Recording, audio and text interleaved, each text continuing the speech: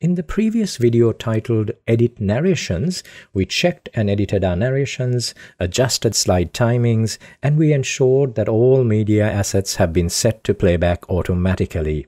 And by media assets, I'm referring to any narrations and video recordings that we added and any other audio or video that we may have inserted into our presentation.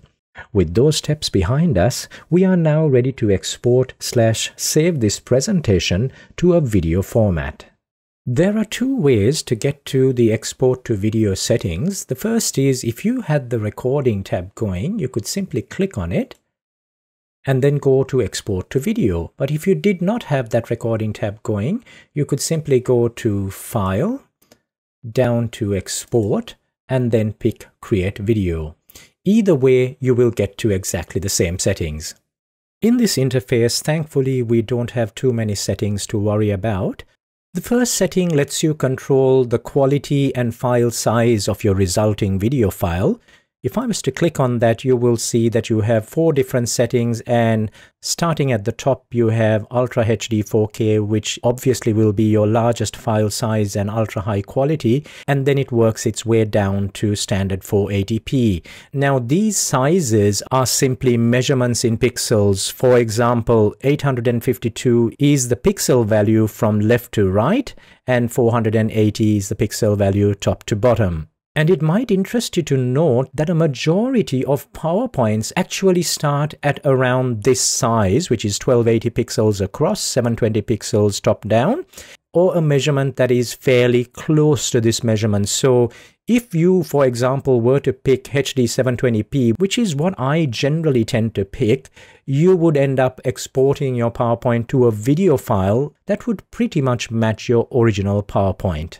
So if for whatever reason you were to pick a higher resolution, you would, in my opinion, be upscaling the PowerPoint to a larger video file, and that may not necessarily be a good thing.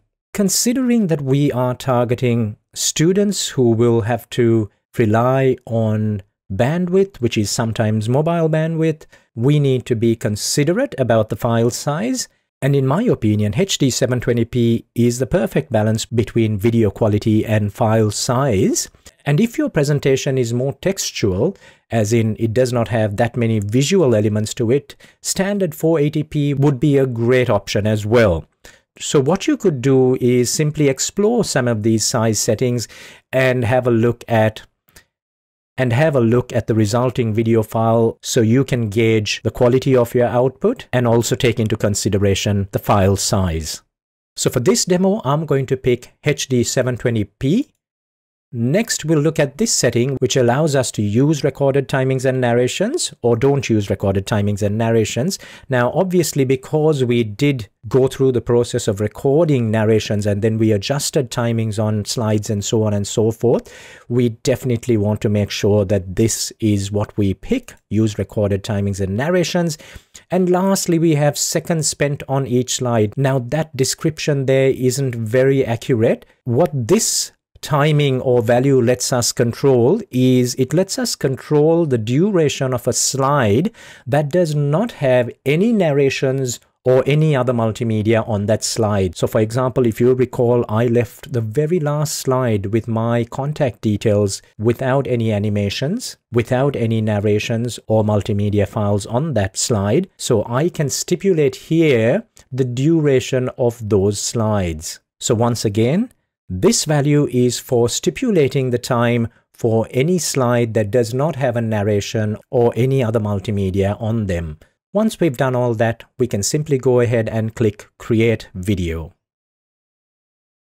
That then opens up an Explorer window, so I'll simply create a new folder here and I'll call this PPT to video. I'll simply open that up and I would recommend that you change the title of your PowerPoint so that you actually know that that's the video file. So I'll call this PPT, PPT to video, and you can always leave a date in there, which helps. And I'll simply click Save.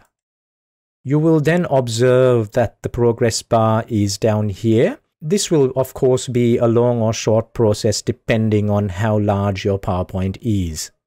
So once the export has completed, I'll open up my Explorer, go to the particular folder that I know I saved the file to, and then I'll simply double click to play the video file. I'll just maximize the player and let's play this back. Understanding solar power. Hi, I'm Kevin and I'll be your teacher this semester. So if you have any queries, don't hesitate to get in touch with me. What is solar power? Let's explore this.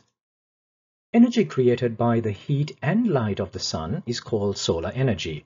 Now students, I'd like you to make note that it is energy created by the heat and light of the sun that is referred to or called solar energy. Let's move along. Solar power is produced when energy from the sun is converted into electricity or used to heat air, water, or other substances. Lower your energy costs and help create a cleaner, healthier planet for generations to come. Connect to the sun and power up.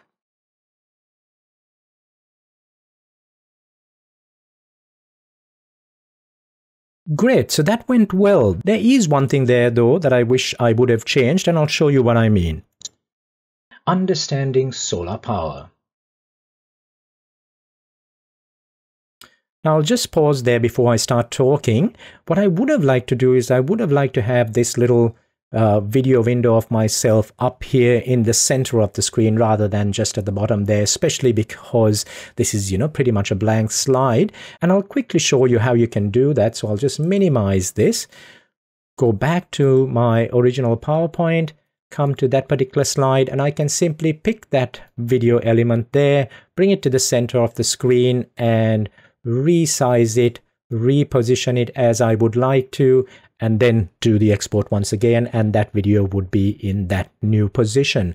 So there you go. That concludes the main area of the tutorials. You might also want to go through some of the other tutorials in the additional content section. Thanks for watching.